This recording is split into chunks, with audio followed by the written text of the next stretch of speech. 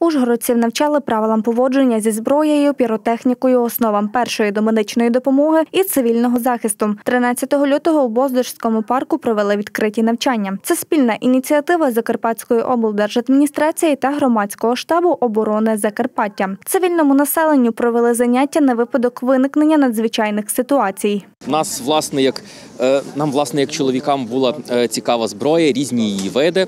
Ось е, ми приємно здивовані, що можна було власне спостерігати справжні е, бойові одиниці і велика їх різноманітність. Та тут ми тут побачили е, пістолет, гвинтівку снайперську, кулемети, е, гранати. Ось і ну, ми вважаємо, що хороший такий захід, що хлопці прийшли, е, показали і бажаючим дають можливість також потримати їх в руках. От проводять такий е, базовий лікбез. Е, Можливо, ти зможеш додати, що тобі тут найбільше сподобалося? Пістолет. Пістолет. Взагалі цікаво було, що в нашому місті влаштовують такі заходи. Е, Вони допомагають е, більше зрозуміти людям щось з медичних знань, також поглянути, як працюють наші військові, з якою зброєю. Такі організації є, що це все організували. Це дуже добре. Ну це важливо, щоб люди розуміли, що потрібно робити в таких ситуаціях, особливо тепер з агресією російською, що в нас є. Найбільше мені сподобалось в принципі все.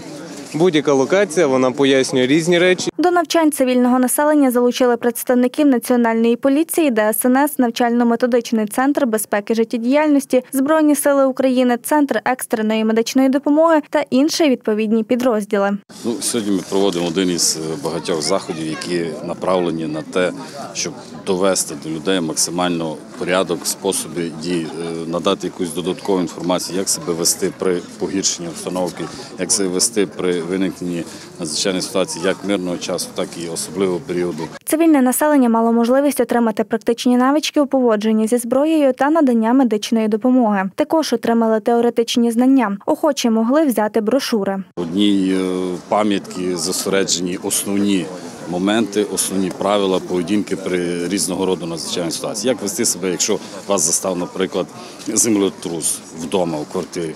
Як вести себе, якщо, не дай Бог, обстріл, да? Чи, чи бомбардування, чи інші речі? Це сконцентровано в одному документі і максимально доступній формі. Про те, що робити у разі виявлення боєприпасів та вибухонебезпечних предметів, розповіли представники Нацполіції. Ми хотіли ознайомити людей з знахідками, вибухонебезпечними знахідками, які трапляються в житті, чи на природі під час відпочинку, чи прогулянок, і деколи бувають навіть в місті, попри дорогу або поблизу мусорних контейнерів. І ознайомлюємо людей, щоб при виявленні вони не чіпали, постаралися не допустити до, до е, даних вибухонебезпечних предметів інших осіб, щоб убезпечити себе та оточуючих. І зателефонували відразу на лінії 101 або 102. Після чого ми вже виїдемо і знешкодимо даний вибуховий, вибуховий пристрій.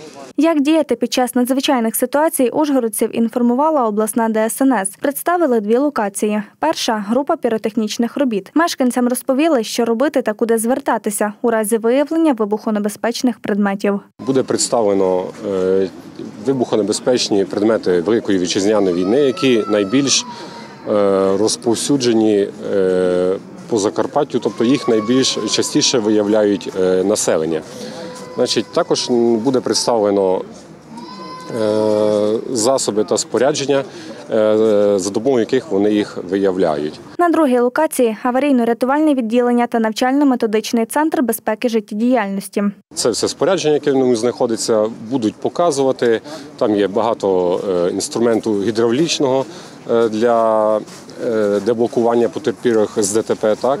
е, засоби індивідуального захисту, е, ну і все інше ре- аварійно-рятувальне обладнання для рятування людей. Навчально-методичний центр безпеки життєдіяльності проінформував про те, як діяти у мирний час та особливий період.